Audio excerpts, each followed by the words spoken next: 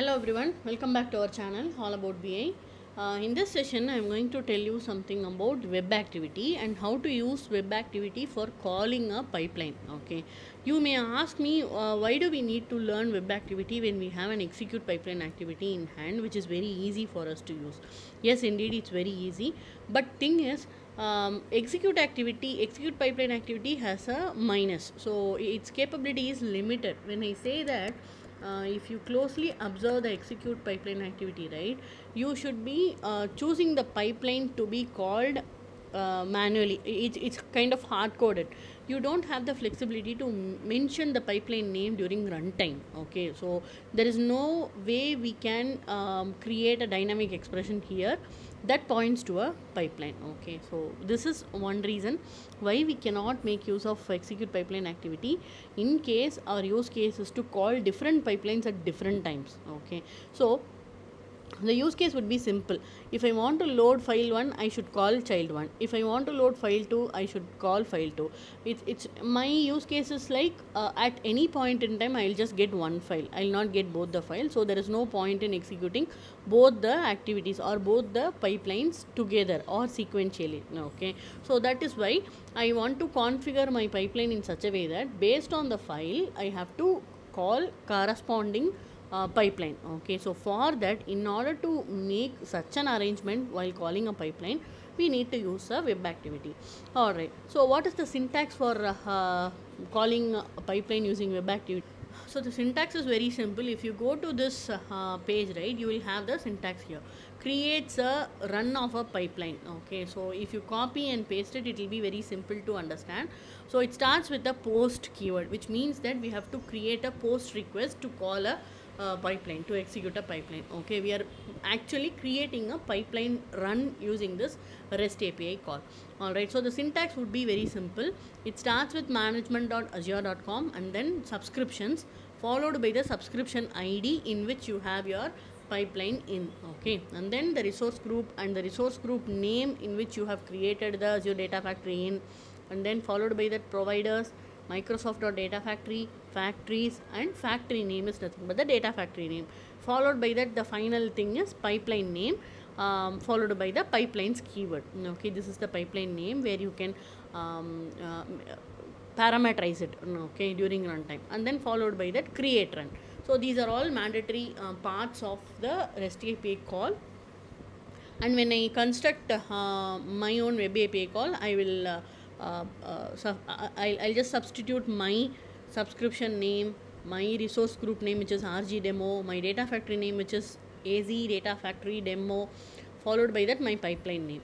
Okay so this is how it will be constructed. And i'll put as such in the web activity. And followed by that so this is the web activity. I have copy pasted that uh, url that i constructed in the notepad. And i'll choose the method as post and body what we are trying to do here is in this example uh, i'm going to call a pipeline from a parent pipeline and i need to pass on the run id of the parent pipeline to the child pipeline. So if i say it, it might be looking a little longer. So i have a parent pipeline. It which will have its own run id and i want to pass it on to the child pipeline that i'm calling using web activity okay. So from child pipeline i need to make use of the run id of the parent pipeline. What i'm going to do the in in, in, in, this pipeline is in the child pipeline i have a uh, parameter pipeline level parameter. Pipeline parameter. And to that parameter we will be passing the parent pipeline run id that is what i'm going to show you now. That is what i'm going to show you now all right. So i have a child pipeline. In that i have created a pipeline parameter called parent run id and uh, this is to be passed from the parent pipeline. And after receiving it from the parent pipeline i'm just assigning it to a local variable called variable test. Okay. So i'm just receiving the parent pipeline and for testing purpose so that we know that um, whatever we received from parent pipeline is the actual run id of the parent pipeline. All right. So this is the whole setting uh, how do you need you need to pass the parent pipeline run id to the child pipeline is you have to put it in the body section in a json format okay? The, so the first half of it is a string which do- which which tells that um, this is the parameter name parent underscore run id followed by that the value of the run id so pipeline parenthesis dot run id this is nothing but a uh, this is a system variable that gives you the current run id of the pipeline okay? So i have enclosed everything inside double quotes and everything inside uh, curly braces okay? So this is how uh, it should look like. If you try to do it in the dynamic content section it is not working uh, it is throwing syntax error. So better type it out okay? That is one one thing that i wanted to stress here. Alright followed by that i used authentication as system assigned managed identity. Followed by that management.azure.com in the resource. Alright if i run this i will be encountering um, an error. Let me run that and show you so this pipeline 1 and pipeline um, pl child right? Both of them are in the same data factory. As you can see here my data factory name is az data factory demo. Inside that i have two pipelines. And uh, uh, basically both are under same azure data factory same resource group everything. Okay. But thing is i'm using web activity uh, to call my pipeline. Okay. Not one pipeline from another pipeline. It, it's like w- web activity based on the rest api call i'm trying to do. So it is throwing an error. So error the, so the error is this. Authorization failed. When you closely look at it right the client uh, some object id with an object id the same bo- both are same does not have an authorization to perform uh, create run action. So basically what we are trying to do we are trying to create a run uh, in that we are calling a pipeline okay? So uh, over the scope uh, of the given child pipeline. So thing is our child pipeline cannot be invoked by rest api call okay? So what we need to do is we need to provide some uh, authorization. So how do we do that is we have to go to the resource group. And inside the resource group you have access control and then i have to add role assignment. Here i will go to contributor role and then members i will search. In the members we just have to give uh, uh, the data factory name az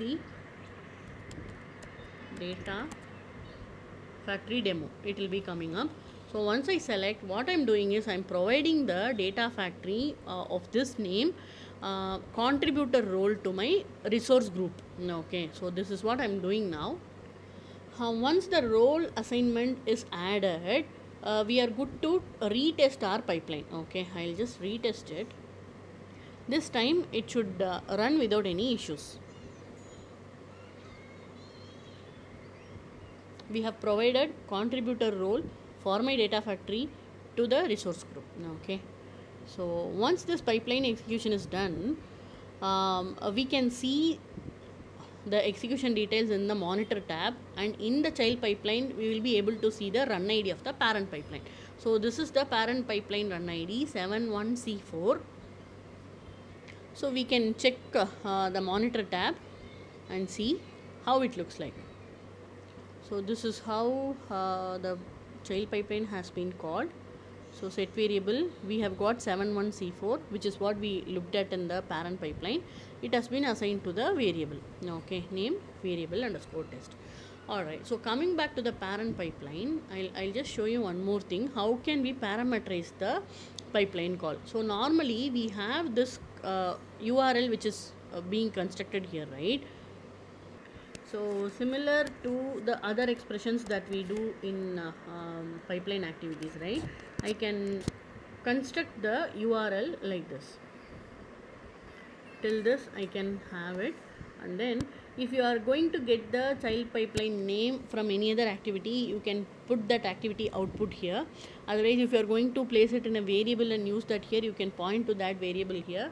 And once you do that uh, I, I leave a placeholder here so that you can uh, you can make it dynamic uh, in whatever way you want. Okay so I'll just leave a placeholder here followed by that all other options. So this is how you can construct a um, url in a dynamic fashion and you can decide the pipeline to be called. Okay this is what i had for uh, this session. If you have any questions regarding the same you can let me know. And thanks a lot for watching um, all the videos and uh, posting your comments. Those who haven't subscribed to my channel i request you to do so. Thanks to all the subscribers and viewers for your uh, kind support. Thank you